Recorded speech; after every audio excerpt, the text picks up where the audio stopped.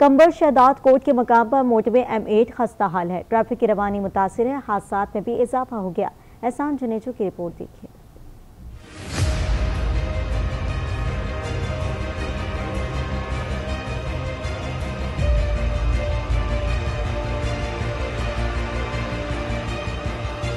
ये कोई राबता सड़क नहीं, बल्कि जिला कंबर शहदाद कोट की तीन तहसीलों से गुजरकर बलूचिस्तान जाने वाली Ratodero Gwadar, motorway, M eight है। ये रोड बेशतर मकाम पर टूट फूट का शिकार है जिसके बायस ट्रैफ़िक की रवानी मुतासर होने के साथ साथ हादसा भी बढ़ रहे हैं। कहने को तो मोटरवे है लेकिन ये इसकी हालत तो लिंक रोड से भी बदतर है।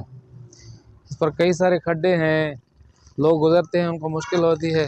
ये अभी तो उन्होंने टूल भी लगाया हुआ है टूल भी ले रहे हैं इतनी टैक्स मिल रही है लेकिन रोड की हालत इतनी नाकिस है कि आए दिन यहाँ पे हादसा होते हैं। जौन सा आता है इलेक्शन के लिए इलाज करता है हमको वोट दो हमको दो ऐसे करता है।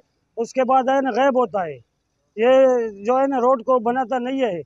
कई सालों से खराब होने वाले एम एट मोटरवे के कुछ हिस्सों का मरम्मती काम शुरू तो कराया गया लेकिन वो मुकम्मल नहीं हो सका। और जो कुछ मुकम्मल हो सका वो भी नाकिस होने की वजह से फिर उखड़ कर रह गया। रोड की हालत इतना खासा ख़राब है कि हम लोग ये बड़े गाड़ियाँ ट्रक इसमें इतना सफ़र मुश्किल से तय करते हैं कि एक तो दूसरे इसमें रश होता है, दूसरा इसका हालत ख़राब है बहुत।